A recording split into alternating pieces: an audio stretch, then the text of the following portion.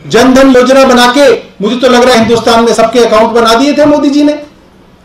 उसके बावजूद चार लाख पचपन हज़ार कारीगरों में से मात्र एक लाख पचानवे हज़ार कारीगरों को ऑर्डर देने के बाद भी आपने अकाउंट से पेमेंट की। बाकी लाखों कारीगरों को आपने कहा कि आपने कैश से पेमेंट की। कैश के पेमेंट के ऊपर तो बहुत सवाल आते हैं। किसी को दिया या नहीं दिया, कोई कारीगर था या नहीं था, इसमें तो करोड़ों की हेराफेरी का आरोप है। एलजी साहब ने इसमें भी नहीं कहा कि मैं जाँच के लिए तैयार हूँ। हमारा यह मानना है, अपने ऊपर गंभीर भ्रष्टाचार के आरोपों से बचने के लिए एलजी साहब रोज नए नए नए नाटक कर रहे हैं। आप सबको इस बात की जानकारी होगी कि दिल्ली के माननीय उपराज्यपाल विनय सक्सेना जी,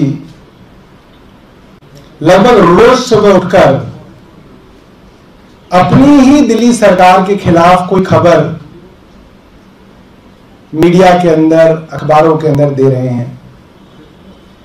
और हम लोग इतना हैरान हैं कि एलजी का तो एक कॉन्स्टिट्यूशनल ऑब्लिगेशन होता है।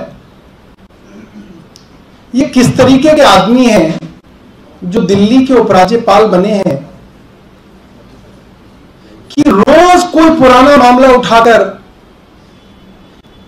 ये दिल्ली की चुनी हुई सरकार के ऊपर हमला करते हैं। हमने पिछले दो हफ्तों में देखा,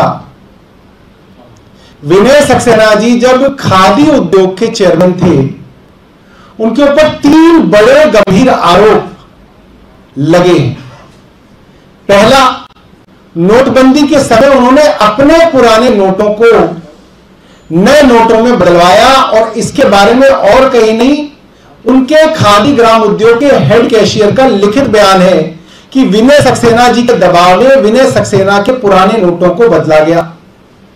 हमने कहा, आप जाँच कराइए, वो जाँच कराने के लिए बिल्कुल तैयार नहीं है।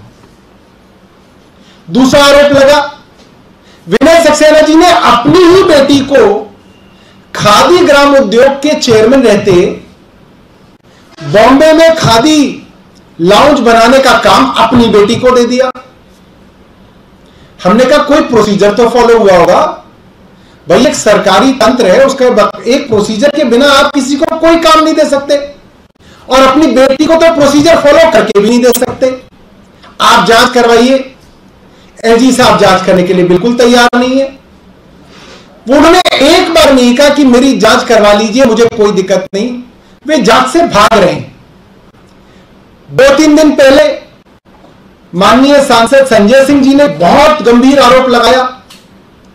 पटना हाईकोर्ट का एक ऑर्डर दिखाया, जिसके अंदर पटना हाईकोर्ट ने खादी ग्राम उद्योग को यह ऑर्डर दिया कि आप जितने भी कारीगर हैं खादी के, उनको बैंक अकाउंट में सीधा पैसा दीजिए।